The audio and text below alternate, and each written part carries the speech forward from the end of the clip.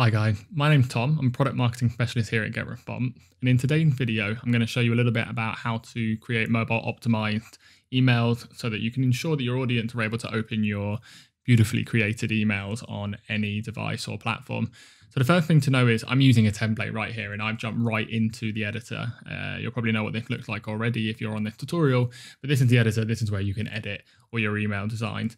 Now, generally speaking, this page shows you the desktop view. It shows you the big version, what you assume that your audience will open in. But obviously, we do need to be aware that some of our users or some of your audience might actually be opening this on a desktop or a mobile as well. So the first thing I'll do is I'll show you a preview. We've got a few previews that will show you uh, how to view your mobile version without having to send it to yourself over and over and over again. But of course, you can just send a test message to yourself and open this on your email if you want to get a live view from your mobile. But the quickest way to do it in the actual app is to click on preview right here.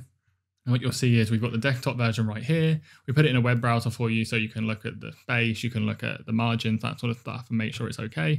Then you can also go to mobile right here and you can just scroll down and have a little look. And then you can also compare the two right here. So you can see them side by side and you can have a look and you can see which parts you need to take in or take out. Now, because we generate it automatically, we don't have a version that's you know, email over here and then mobile email over here. But if you do need to get rid of an element because you know it's maybe too big on the email or it's very heavy, like a GIF, for example, is a great example of something that you might not want to have on a mobile browser. It does take a little while to load. What you have to do is click on the element right here, scroll over here once you've clicked on it and say hide on mobile devices. And what you'll notice is you'll see the little icon right there that says that it's not going to be shown on mobile devices. And I'll just show you what that looks like on the preview there so we can actually compare the two. So we've got that there and you can see we've got this image right here. And you can see that right here that it doesn't load in the mobile view. And we've got rid of the graphic right here. And you can see that this is now mobile optimized. So that's one way to mobile optimize your emails.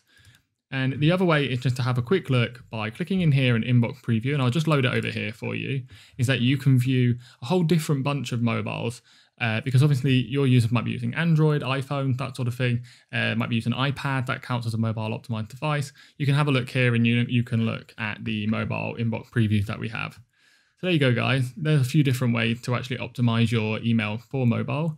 I definitely recommend doing it. a very important part of email marketing nowadays. And if you've got any other questions, feel free to ask our customer support or have a little read through this FAQ. Great. Thanks, guys.